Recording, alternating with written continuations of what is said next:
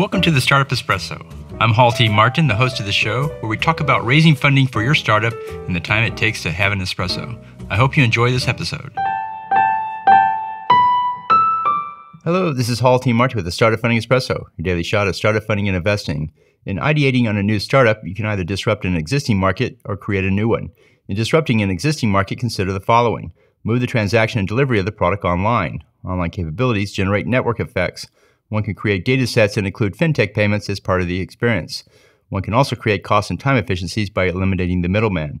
Disrupting an existing market requires a new mindset for serving the customer. In starting a new market, consider the following. Emerging technologies provide the opportunity to create that market. Technologists and early adopters comprise the initial market. Since they are familiar with the technology, they adopt it first.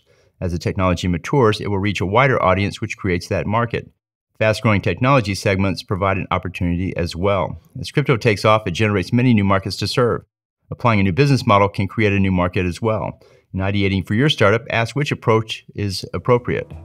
Thank you for joining us for the Startup Funding Espresso, where we help and investors connect for funding. Let's go start us into the day.